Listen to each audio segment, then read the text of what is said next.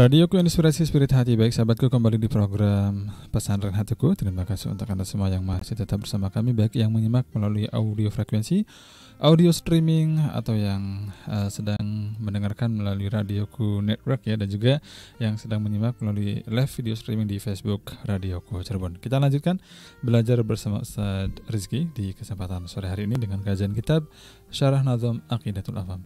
Silakan Ustaz Baik, kita lanjutkan daras atau belajar kita kitab Aqidatul Awam ya. Kemudian kita masuk di fasal faslu thalith ya, al-faslu thalith pembahasan yang ketiga. Fil malaikati alaihi musal alaihi musallam manhum wa tabi'atuhum. Jadi di pembahasan yang ketiga ini di akan membahas tentang malaikat malaikat Allah. Siapakah mereka? Apa tabiat-tabiat mereka? Yaitu al malaikatul asyra yaitu para malaikat yang sepuluh manhum wa tabiatuhum. Qala nadhim rahimahullah uh, berkata pengarang nazam yang semoga Allah Subhanahu wa taala merahmatinya amin. Wal malakul ladzi bila abi wa um. Ya. la akla la syurba wa la nauma lahum. Yang artinya adalah dan para malaikat Allah ya para malaikat Allah ya alladzi bila abin wa um yang mereka itu diciptakan oleh Allah Subhanahu wa taala tanpa perantara seorang ayah dan seorang ibu. Baik. Memang Allah ciptakan mereka dari nur dari cahaya. Bukan seperti kita melalui wasilah ibu dan ayah. Pernikahan Baik. kemudian lahir kita. La akla wala syurba wala naumalahum yang mereka para malaikat itu tidak butuh dengan makan, minum, tidur bagi mereka. Ya, berbeda kita dengan mereka berbeda. Sehingga ada uh, ada tarif ya pengertian pengertian malaikat. Pengertian malaikat. Yaitu wahum ajsamun latifatun nuraniyatun qadiratun ala tashakkuli bi ashkal mukhtalifah al mukhtalifah hasanah. Jadi hum mereka para malaikat ajsamun yaitu jisim ya jisim latifatun. Jisim yang lembut nuroniyatun yang terbuat dari cahaya. Qadiratun yang mampu alat tasyakuli mampu berubah dengan macam-macam. Ya alat tasyak alat tasyakuli bi ashkalin mukhtalifatin hasanatin. Jadi malaikat mampu berubah dengan macam-macam bentuk jenis ya. Tapi berubahnya dengan suatu yang baik yang bagus. Bukan suatu yang jelek gitu Jadi mereka mubar uh, mubarratun anjami'il kadurati nafsiyah yaitu mereka yang terjauh dari uh, satu kejelekan ya. La ya'sunallaha ma amarahum. Mereka juga tidak bermaksiat sama sekali kepada Allah Subhanahu wa taala atas yang Allah perintahkan kepada mereka. Wa yaf'aluna ma yu'marun. Dan mereka juga melaksanakan apa yang Allah perintahkan kepada mereka layakuluna wa layashrabuna wa layanamun mereka tidak makan tidak minum tidak tidur. Ya. Dan mereka sangat banyak. Wahum balighuna minal kathra dan mereka itu sangat banyak sekali.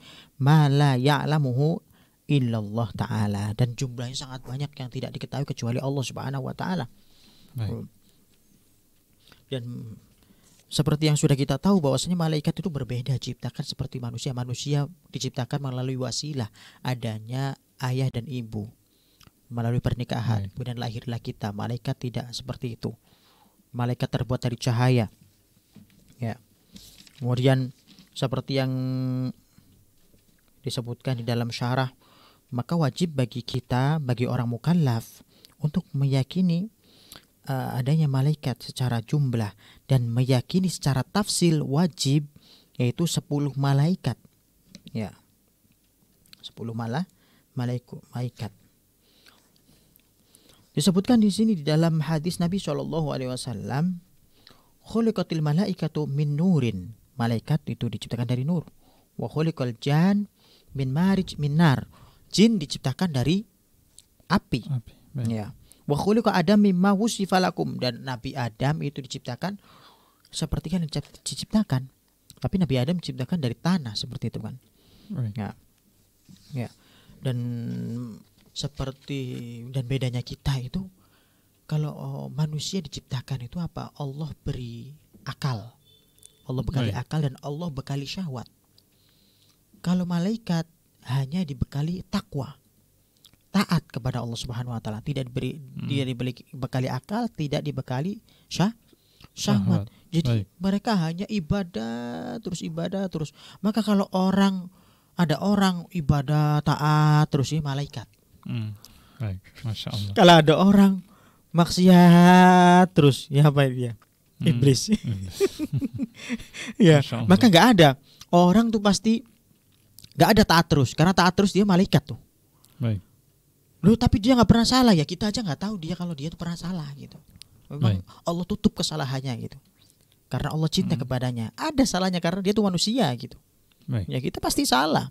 Tanpa kita sadari, tanpa kita ketahui, pasti kita punya salah gitu karena kita manusia. Kemudian mahal khotok wanisyan gitu, manusia.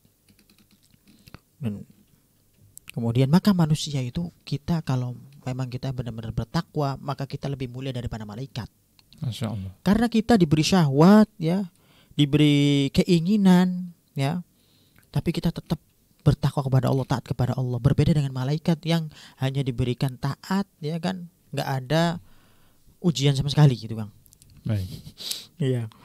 Kemudian eh dan mereka juga para malaikat itu memiliki ajniha. Ajniha itu apa? Sayap ya.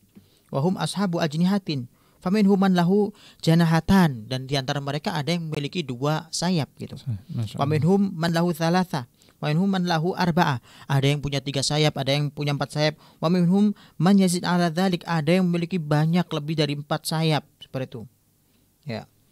Bahkan diriwayatkan oleh Imam Muslim an Ibnu Mas'udin radhiyallahu anhu anna Rasulullah sallallahu alaihi wasallam ra'a Jibril alaihi salam lahu sittu mi'ati janahin. Jadi Nabi Muhammad SAW itu melihat Jibril yang memiliki eh, 600 600 sayap. Baik. Ini diriwayatkan oleh eh, Imam Ibnu Mas'ud gitu. Wahum uh, majbuluna bitta'ati tamat lillahi wal qiyam bi awamirihi. Jadi mereka hanya hanya taat kepada Allah Subhanahu wa taala. Disebutkan dalam ayat qala Allah taala la ya'sunallaha ma amarahum wa yaf'aluna ma yu'marun. Ya, ya, mereka tidak pernah bermaksiat kepada Allah dan hanya taat kepada Allah Subhanahu wa taala. Ya. Ada kisah salah satu salah satu kisah yang sangat apa ya, yang masyhur. Seorang malaikat yang eh, apa malaikat Allah Subhanahu wa taala yang menyerupai berubah jadi manusia. gitu. Seperti dalam hadis Arba'in Nawawi hadis yang Mm. kedua, hadis Jibril Baik. yaitu malaikat yang menyerupai salah satu sahabat Nabi yang paling ganteng Hmm. yang bernama Dihya Al-Kalbi. Baik. Jadi malaikat Jibril tidaklah turun ke bumi menyerupai manusia melainkan menyerupai Dihya Al-Kalbi. Hmm. Dalam riwayat bahkan sampai dua kali Baik. Dihya Al-Kalbi. Ya. Dikisahkan dalam hadis Arba'in Nawawi yang kedua itu datang seorang yang tampan, rambutnya hitam, bajunya putih, sangat Mm. tampan sekali datang kepada Nabi, duduk di depan Nabi, wa asna rukbatai ila rukbataihi dan Hmm. menempelkan eh, apa? Lututnya. lututnya Dihya Al-Kalbi ini salah satu sahabat Nabi ya. Kemudian menempelkan kepada lututnya Nabi. Hmm. Itu loh. Kayak murid sama Baik. guru tuh. Masya Allah. Kemudian tanya tentang iman, tentang tentang Islam, tanya tentang hari kiamat. Ya. Hmm. Kemudian setelah itu setelah dijawab sodakta ya Muhammad, sodakta ya Muhammad, sodakta ya Muhammad. Malah ini orangnya benar wahai Muhammad, benar wahai Muhammad. Hmm. Menjawab seperti itu. Seakan-akan Baik. apa menguji pertanyaannya itu. Baik. Kemudian-. Nabi SAW di akhir hadis menyebutkan apakah atadruna ya eh, man huwa maksudnya apakah kalian tahu siapa itu wa Allahu wa rasuluhu a'lam dijawab oleh para sahabat Allah dan Rasulnya lebih tahu Hmm. innahu fa innahu Jibril atakum yuallimukum dinakum itu malaikat Jibril yang datang kepada kalian untuk mengajarkan kepada kalian tentang agama kalian gitu. Malaikat Jibril datang kepada para sahabat Nabi yang lagi majlis ngajarin mereka. Dalam hadis ini juga mengartikan bahwasanya kita ada bertanya itu bermacam-macam. Baik. Tanya kadang ngetes, ini kurang ajar dong. Tanya ngetes guru gini. Baik. Ada tanya bener-bener nggak tahu. Ada tanya tujuannya untuk mengajari yang lain. Ya ini yang dilakukan malaikat Jibril.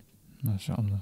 Ya, turun menyerupai salah satu sahabat Nabi kemudian bertanya kepada Nabi untuk mengajari para sahabat yang masih awam saat itu. Nah, begitu. Ya.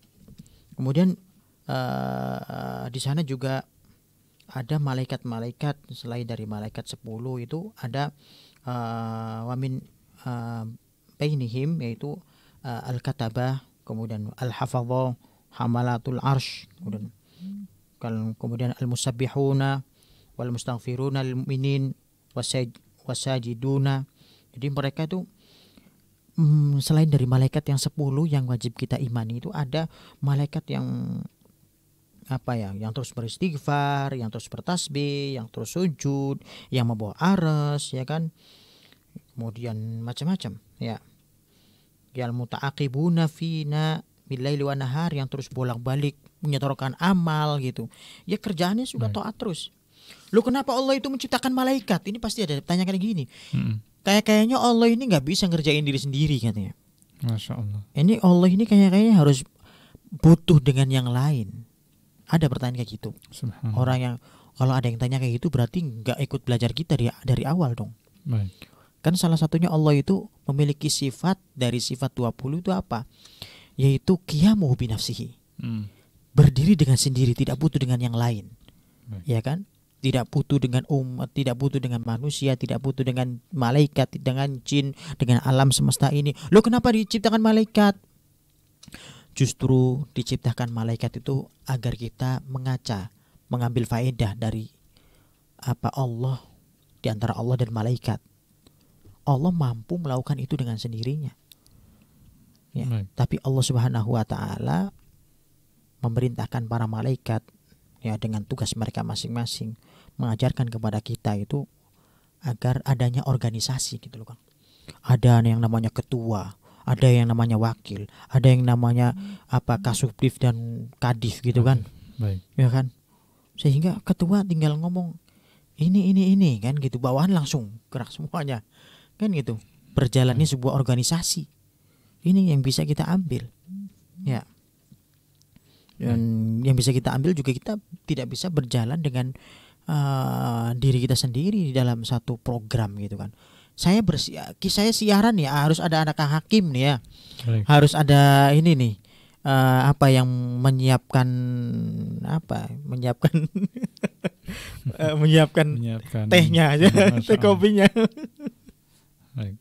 jadi saling membantu di dalam Mm-mm. sebuah organisasi gitu loh Baik. ya kan mungkin di sini juga aslinya ada direkturnya di di kan Baik. Ada. tapi kan beliau hanya tugasnya hanya eh, menanyakan bagaimana apakah jalan kemudian kontrol seperti itu baik mungkin itu kang Hakim Baik. Baik Ustaz kita akan lanjutkan lagi setelah jeda nanti untuk sahabatku tetap di radioku Inspirasi Spirit Hati.